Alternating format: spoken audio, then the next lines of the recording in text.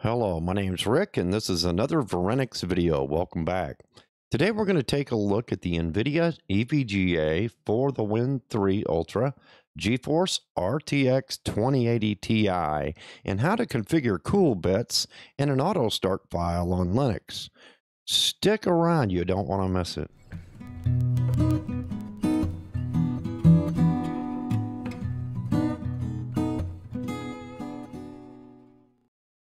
To do first is enable CoolBits. When we first built this machine, we built a whole new machine for our use here at Varinix. And it's a 10K build. It's a AMD Threadripper 2950X with 64 gigs of RAM, uh, Asus motherboard, Extreme, and we we built a nice machine uh, for editing video it's basically an all in one. This is a micro studio, so it's an all in one machine. Uh, and we use it for everything. So let's take a look at what we need to do. We need to enable CoolBits here on Linux. We're going to do this by editing the etc x11 xorg conf. We're going to create an auto start file for enabling CoolBits on session login. We'll do this by creating an auto start file in, it's a hidden directory under config. Then you go to auto start and we'll create a file there that will allow us to have this working upon session start. We're going to verify that the cool bits is working. We're going to verify that the auto start file is working. We're going to check the heat on the back plate by manually opening the case cover grounding yourself with your left hand to the metal case and placing your right hand on the GPU's backplate. Now, the reason this is necessary is when we built this machine, the first thing I noticed was that the backplate was extremely hot. And when I say hot, this was hot enough to fry eggs on. And only one fan was spinning. It took me a, a little bit to do some research to see how um, NVIDIA had created uh, this particular GPU, and I'm not sure that they all are like this. I've used a lot of these NVIDIA cards over the years.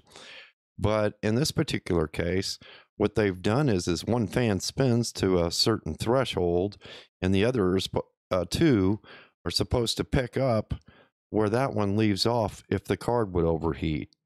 So by default, all three fans are not spinning on this card. Um, now in Windows, they provide a little a graphical GUI interface to where you can link your uh, fans and you can give the you know uh, bring them up to whatever speed you need and uh, you know it just works in windows. But in linux uh, you really need this uh, if you're building a machine and and your expensive uh, gpu is getting hot this is going to help a lot so that's how you check this is you put your hand on that back plate. That back plate should be cool. It should not be hot. It should not be all that warm. If you if you do this right and set this up right and everything's working, you should see the temperatures on that back plate uh, become very cool. And lastly, what we'll do uh, is you're going to want to open your case, whether it be a self-built machine or whether it be uh, uh, you know so, something you purchased. If you're running linux you're going to want to verify just open the case uh, remove the cover and take a look at the video uh, uh, card itself the gpu and verify that all three fans are spinning. That's the goal. And you can set these frequencies or uh, rotations and everything to what you need 50%, 60%, 65%, or what have you. We'll show you that. But you need to make sure that all three fans are spinning. So let's get started by taking a look at uh, creating a backup of our Xorg conf. You're always going to want to create a backup before you start. So here we go. All right, all you'll want to do, let's clear that. Uh,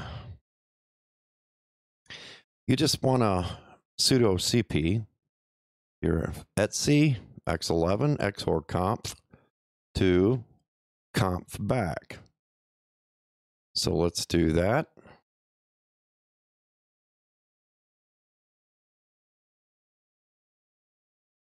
Okay, once you've created your backup file, what you'll want to do, uh, we're going to overwrite any Xorg conf you have by doing a sudo NVIDIA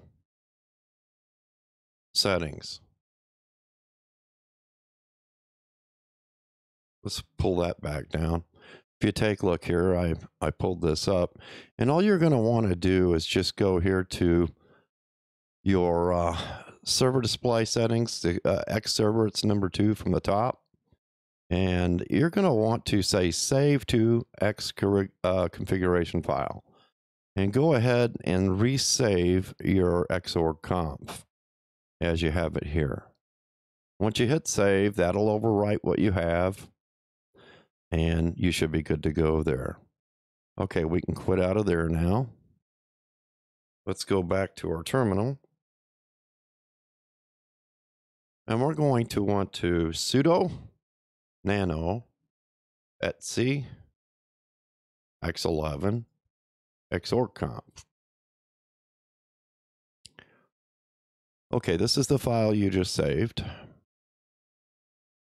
And what you want to do is just come down here and I've already configured this, but uh, this will show up once you put it in. Um, now I put it in two places. This isn't necessary, but but don't worry about it. Just go ahead and put it in as I have it. If you notice here,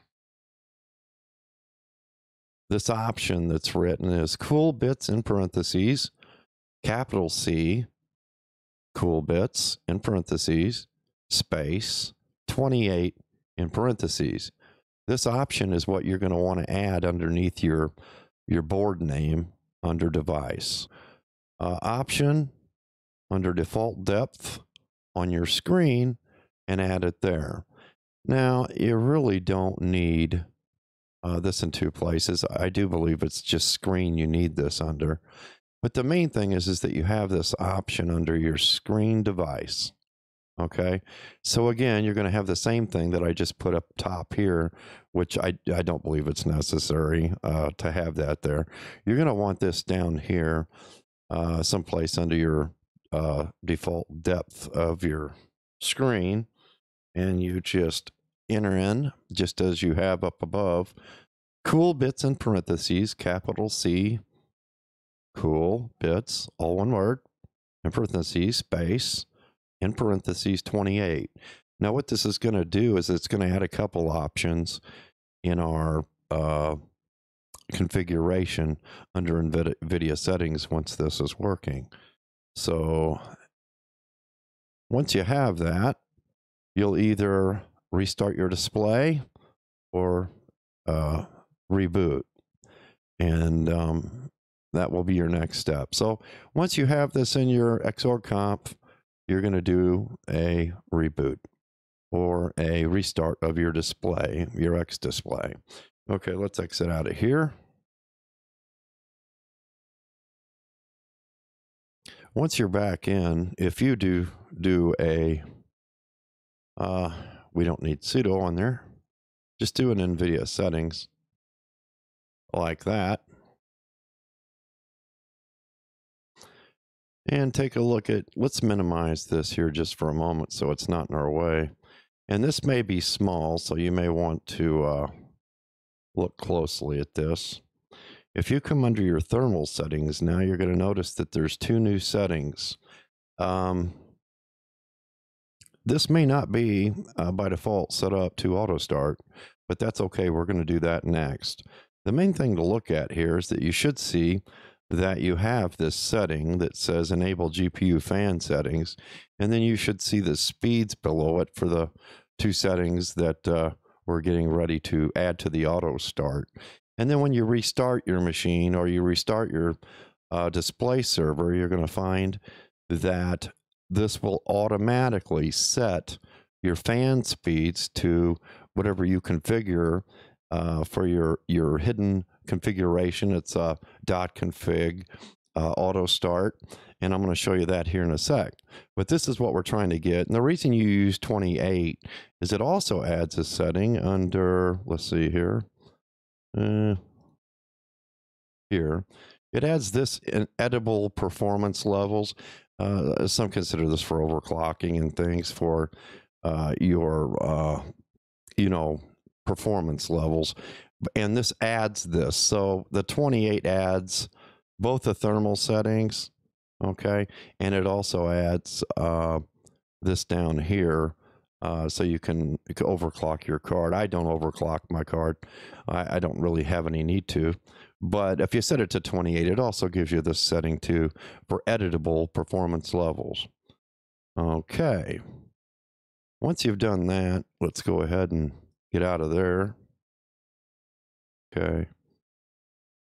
Your next step is going to be creating your your auto start file. And what you'll do there um, is you're going to open up a terminal. Let's do that. And you're going to go to your home directory. You're going to go to .config auto start.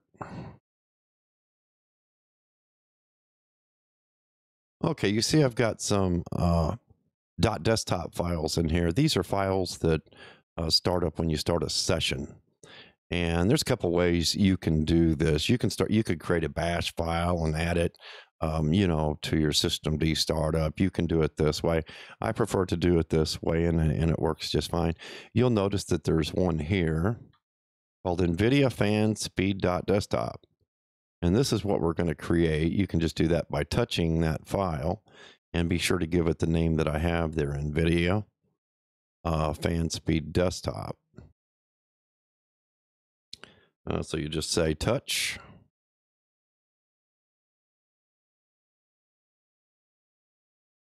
That, and that'll create that file. Once you've touched that file, you can chmod plus X that file, and you're going to make it executable. And then what you're going to want to do is nano NVIDIA um, and this is what you're going to try to put in here. Um, a standard desktop entry, type equals application. And then here's the actual commands we're running on the startup of our uh, desktop uh, to place the fans where we want them. If you just take that part, oh, the command part itself, and hop back out of here just for a second, and you run that, you what you're doing here is you're saying okay we're going to set the G, uh, gpu fan control state to one. That enables uh, you to change the fan speeds okay? And then what we're saying is on fan zero we're going to set the target fan speed to 65 and we're going to do the same thing for fan one okay? Now on this particular card the two the two fans run off the second one. So it says fan one. That's actually going to run the next two fans that's on this particular card. And again, I've set that to GPU target fan speed 65. So if you hit enter, this is the actual command.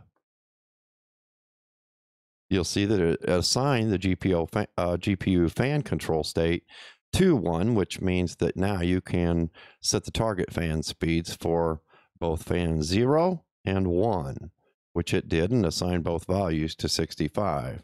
And if you run NVIDIA settings again, you'll see that that's where it's set. You can run these at anything you want here. Um, I put them to 65 uh, uh, specifically for when I'm recording videos and doing things, but you can set this. Uh, what did I do there? Oh.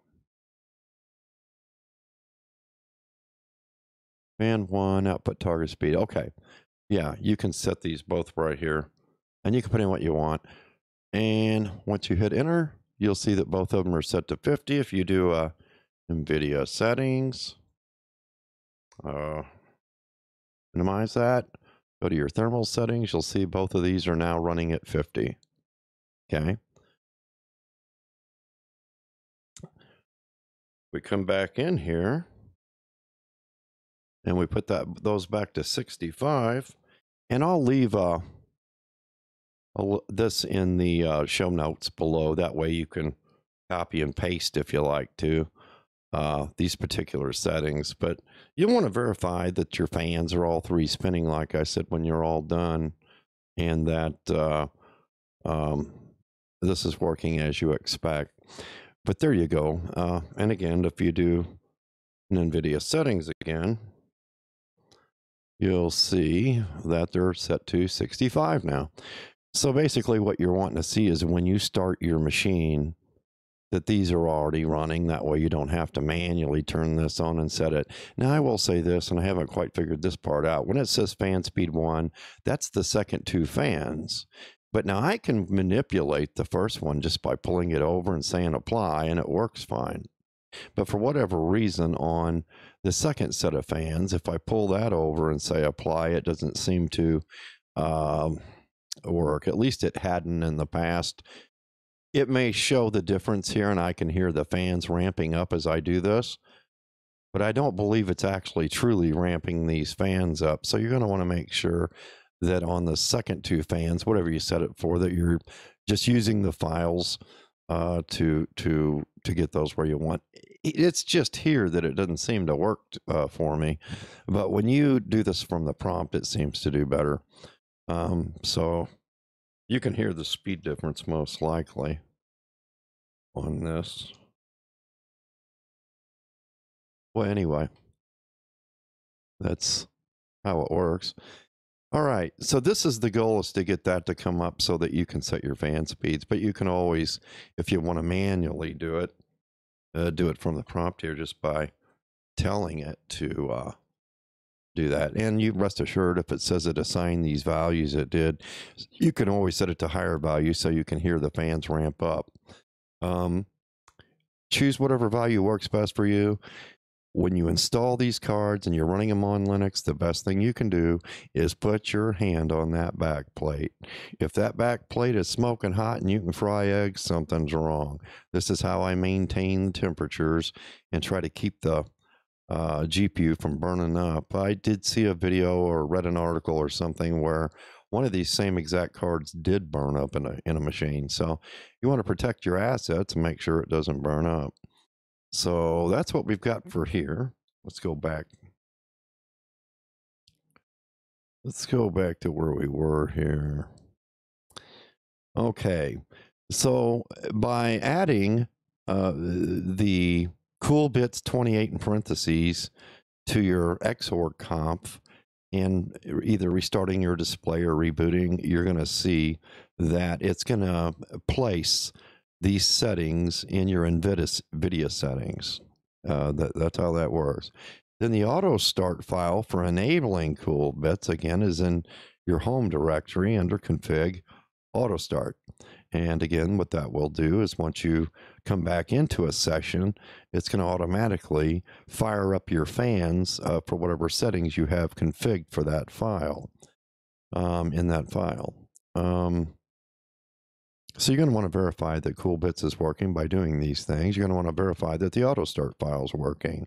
You will know because if the auto file auto start file is not working, what'll end up happening is is it, you'll see the settings in, in NVIDIA settings uh, when you type in NVIDIA settings, but which it, it won't be checked and it won't be running. Um, so the auto start file has to be there for that to automatically start your fans again on session uh, when you log in uh, your session or you reboot your machine. Um, and again, check the heat plate by manually opening the cover, grounding yourself with your left hand to the metal case, and placing your right hand on the GPU's back plate. If that back plate is cool, as it should be, uh, and I've verified this over and over and over, uh, this does work. It should be completely cool. It shouldn't have, have a bunch of temps to it at all. Um, prior to that, like I say, with a single fan running, it was hot enough to bake cakes and or fry eggs. It was very, very hot. So, lastly, what you want to do is you want to get down and verify that all three fans are spinning. Whether you put it to 50, whether you put it to 65, or whatever you come up with for the work you're doing with your video card, be sure that all three fans are spinning. And if you can accomplish that on Linux, you're doing well, you're saving your card, and you're configuring it properly. So that's what we have for that.